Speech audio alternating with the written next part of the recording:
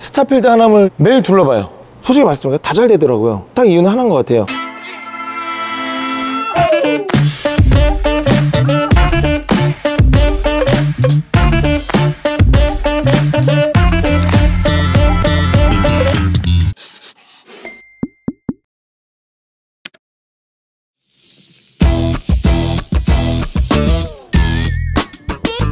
오팬파이어는 한국인들이 좋아할 수 있게 개량한 한국식 빠에야 전문점입니다.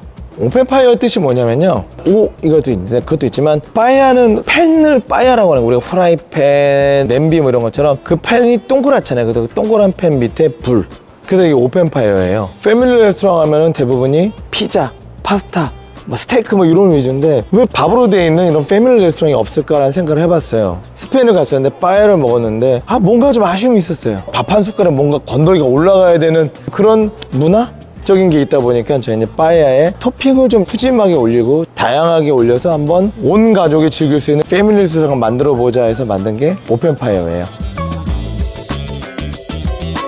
제주라는 매력이 좀 있었어요. 셰프들이 가장 좋아하는 단어 중에 하나가 season and local이거든요. 대한민국은 이제 사계절이 뭐 뚜렷하고 삼면이 바다고 하지만 크진 않잖아요. 그러다 보니까 나오는 재료들의 한계성도 있긴 했는데 한라산을 중심으로 반경 50km 안에 없는 재료가 없어요. 쌀도 나죠. 닭도 있죠. 오리도 있죠. 수산물도 있죠. 다 있어요. 그래서 없는 게 없더라고요. 제주에서 나중에 뭔가 좀 해봐야겠다라는 생각을 갖고 있다가 이제 작년에 버거집을 먼저 오픈을 하게 됐잖아요. 제주에서 6에서 1년만 버티면은 반은 했다고 하더라고요. 그만큼 사실 버티기가 어려운 동네예요. 왜냐면 비도 많이 오죠. 관광지다 보니까 시즌에 대한 그런 영향도 많이 받고요. 제주에 있다가 하남으로 오면서 도시로 가는구나 했는데 네, 자연 풍경이 비슷하더라고요. 네. 저희도 숲 있고 매장 옆에 어 여긴 강이네요. 저희는 연못이 있고요. 네, 밥을 먹으면서 이렇게 좀 아름다운 풍경을 먹을 수 있는 그런 분위기가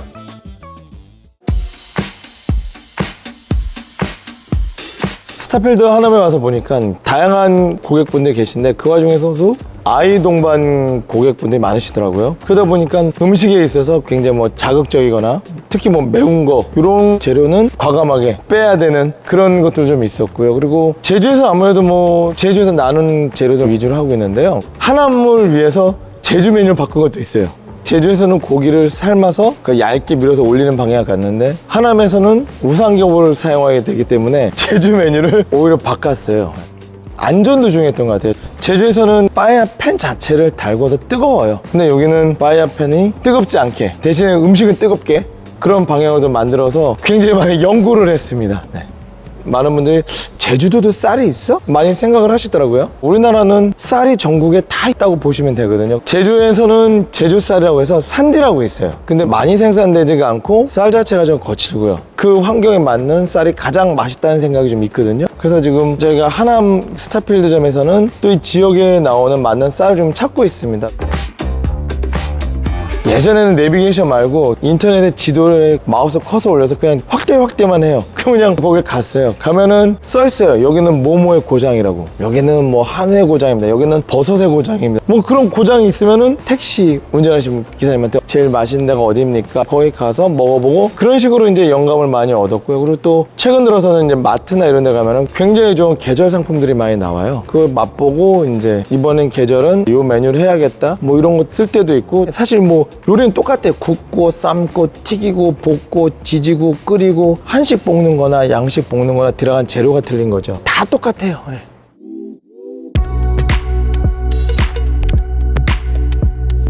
낮에는 직장 생활 하시고 저녁엔 대리운전 하시는 분들 계시잖아요. 어떤 분들은 낮에는 일반 직장에서 자기 사무실 가다 저녁에는 또 다른 어떻게 보면 투잡이라고 얘기하잖아요. 내가 할 수 있는 영역에 사는 거지 내가 할 수 없는 영역에 사진 않거든요. 저도 제가 할 수 있고 제가 좋아하는 건 아는데 제가 할 수 있는 음식에 관련된 것들만 하거든요. 제가 여행 상품에서도 해외 여행을 어르신들 가족 여행을 많이 가시면은 문제가 뭐였냐면은 입맛에 안 맞는 메뉴가 많다고 하시더라고요. 그 관련된 음식을 다시 제가 뭐 디너를 준비해 드리면서 그런 것도 맞춰 드렸고 예비 창업자도 제가 먼저 했던 창업자니까 그런 거에 대한 실수담 저는 실패담만 얘기해 줘요.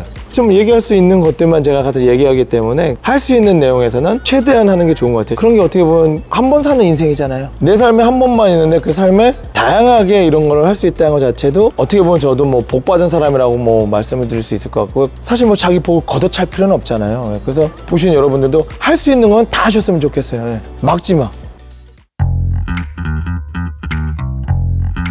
TV나 방송에서 보는 굉장히 화려만 보고 이 외식업에 들어오신 분들이 많아요. 현실은 굉장히 힘들어요. 창업하잖아요? 자기가 장도 봐야 돼, 재료 준비도 해야 돼, 영업도 해야 돼, 판매도 해야 돼, 일 끝나면 또 사러 가야 돼. 굉장히 현실이에요. 그래서 저는 어디 강연을 가면은 망한 것부터 얘기를 해요. 예. 잘된 것만 얘기하면은 아 나도 할 수 있다는 괜히 헛된 꿈만 줘요. 망했을 때 오는 것들. 여러분들 망하면 끝이 아니에요. 망하면은 밀렸던 것들에서부터 직원들 나가야 될 돈까지 다 책임지면 여러분 얼마가 나갈지 한번 생각해 보라 얘기하고요. 그래서 우리가 외식업을 뭐라고 얘기하냐면요. 말을 타고 활을 쏘는데 날아가는 새를 쏴야 돼요. 심지어 요즘은 천둥 번개 치는 날이에요. 경기가 어려워졌잖아요. 소비가 많이 이제 줄어들다 보니까 현실을 가장 잘 보고 시작을 해야 됩니다. 그렇지만 스타필드 하나면 좋더라고요. 네. 비도 안 와요. 네. 스타필드 하나를 매일 둘러봐요. 근데 솔직히 말씀드리면 다 잘 되더라고요. 딱 이유는 하나인 것 같아야 한 점포씩만 있어야 되는 것 같아요. 이게 내가 먹고 싶은 거를 먹기 위해서 줄을 서 계시더라고요. 그래서 야 요즘도 줄 서네. 그런 게 굉장히 만족도 높은 거예요. 그래서 이 요식업이라는 것 자체가 동네 상생이 굉장히 필요한 것 같아요. 저도 저지만 우리 직원이 창피하지 않은 요리를 만들자 하는 게 저의 모토예요. 저희 직원들이 이 음식을 낼때 떳떳한 메뉴가 좋거든요. 음식을 냈는데 나 이 금액에 이거 나도 못 사 먹겠는데 그러면 직원들이 손님 앞에 가서 떳떳하지 못해요. 괜히 내가 만든 메뉴에서 이 친구들을 손님 앞에서 죄인을 만들면 안 되겠더라고요. 앞으로 오실 고객님한테 말씀드리고 싶은 거는 저희가 맞는 가치에 맞게 저희가 어떻게 보면 떳떳하게 만든 네, 음식입니다라고 말씀을 드리고 싶습니다. 10월 27일까지요. 스타필드 하남에서 저희가 팝업을 하고 있습니다. 여러분들 27일까지만 오시지 마시고 예, 저희가 팝업이 끝나도 다른 팝업이 오니까요. 예, 많이들 쭉쭉 사랑해 주시고 방문해 주시길 부탁드리겠습니다. 감사합니다.